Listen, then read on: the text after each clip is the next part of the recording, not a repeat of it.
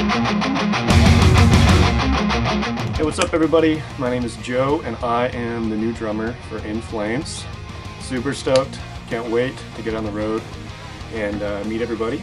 Um, so, a little bit about me I was in a band called Red for about eight years and um, left the band a few years ago. Since then, I've been living in LA, doing a lot of studio stuff, uh, session work, a lot of session work for Howard Benson. I've had the opportunity to play on some really killer records with him. And uh, earlier this year, he told me he was going to be working on the new In Flames album, and that they didn't have a drummer at the time. So came up to the studio, met the guys, and uh, kind of took off from there. Started hanging out, talking. I think they weren't sure what they were going to do for sure about drums on the record and everything, and uh, ended up giving me a giving me a chance to kind of show what I could do. So yeah, got got the opportunity to play drums on the record. It's amazing.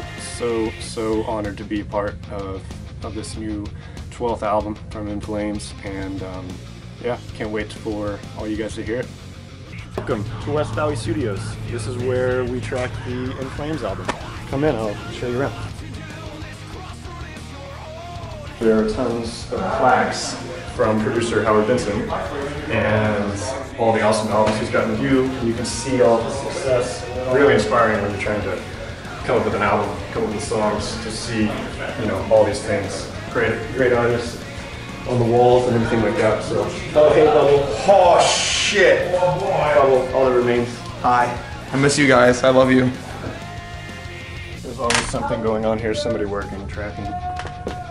So, surprisingly, this is where we track all of the drums at West Valley Studios. Um, I do a lot of drumming for Howard, and this has been the room. When he, so I did the first album Howard got to do here uh, that he made in the studio.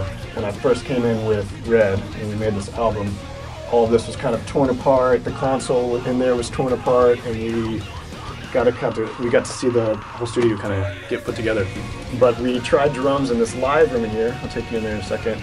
And this room ended up being like, I don't know, sounds great. Awesome, huge sounds. So, uh, yeah. And take you into the control room. And this is where all of the magic happens for sure. So, got a nice Neve console. Howard had it brought over here, and um, this is kind of the hub of everything. This is where we get the great drum sounds and everything, all the guitar sounds.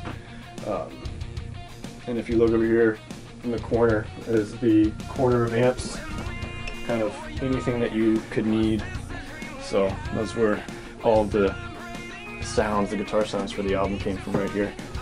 We have it all wired to go in there and all the cabs and everything are in there.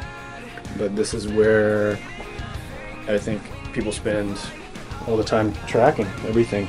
A lot of vocals get done in this room in here as well, besides drums. And take you into the live room. This is where we tried to do drums, but ended up just leaving all the cabs in here. So it, have it all mic'd up, all good to go. We can just blare, be loud, don't have to worry about neighbors or anything, you know. um, yeah, and uh, every album gets one of these little uh, uh, boards, so you can kind of mark down your progress and everything. And I will show you the In Flames one, but I can't do that. Secret. Secret right now, guys. Yeah, so there it is, West Studios. Thanks for following me around.